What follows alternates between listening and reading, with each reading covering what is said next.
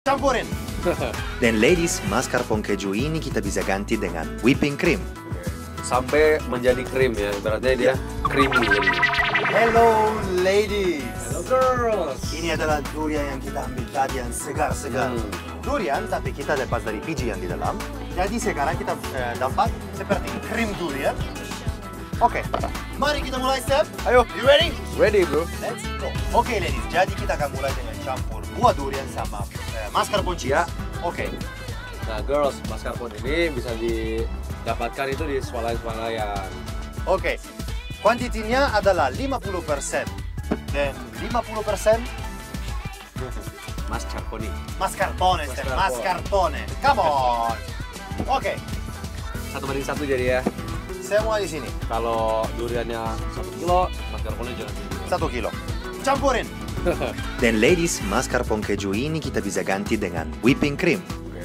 Sampai menjadi krim ya, ibaratnya dia creamy jadi campurannya ini.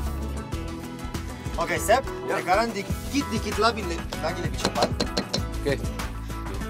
Girls, ini sepertinya agak berat sebenarnya. Cuman nggak apa-apa, pelan-pelan aja. Yang penting semua tercampur rata ya. Ya, benar. Oke, ladies, ini udah siap. Lihat hasilnya, Step. Sekarang konsistensi mantap, perfect. Ini creamy, perfect. So perfect. Step berikutnya. Jadi, kopinya masuk ini dalam satu tray yang besar. Sebenarnya kita bisa mulai.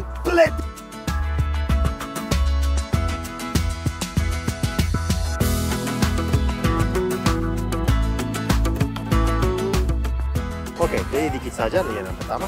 Sorry, saya pegang bentar. Dimaafin. Ini waktunya pakai lady finger. Lady finger. Buat sogi di dalam kopi. Dicelupkan di dalam Celupkan kopi itu sogi. Dicelupkan, di Celupkan. soaking. Sekarang kita susun krim durian secara bergantian dengan lady finger di dalam gelas.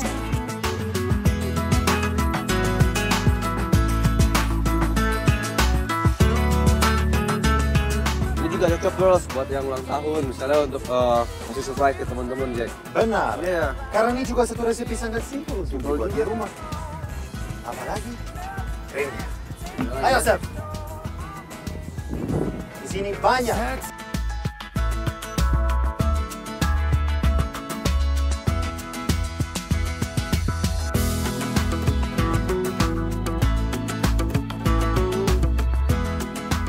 Siap. Semua siap untuk cocoa powder. Oke, step terakhir. Cocoa powder, Ini dapat Jack. coklat candy. Oke, ladies. Sebenarnya kalau eh, tiramisu ini tiramisu harus di dikasih di dalam kulkas selama satu jam. Itu Ya. lebih lebih enak. Ini adalah durian miso dan jangan lupa